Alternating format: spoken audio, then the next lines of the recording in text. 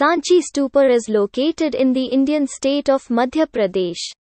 Sanchi Stupa is a UNESCO World Heritage Site. It is one of the most ancient and famous Buddhist monuments in India. The Sanchi Stupa was constructed in the honor of Lord Buddha by Emperor Ashoka.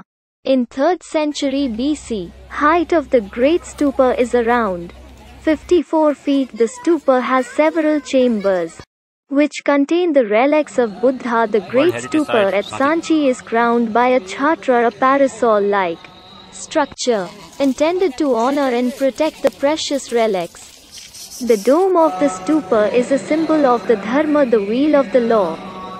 Most of the Buddha statues at the Sanchi stupa were said to be painted with the legendary Mauryan polish that made them shine like glass in the erstwhile days. The last addition to the stupa was done during the rule of the Guptas. Prior to 450 AD, the stupa is surrounded by four gateways that represent various scenes from the life of Lord Buddha and Jatakas tales. The national emblem of India was derived from the Ashoka pillar of Sanchi stupa.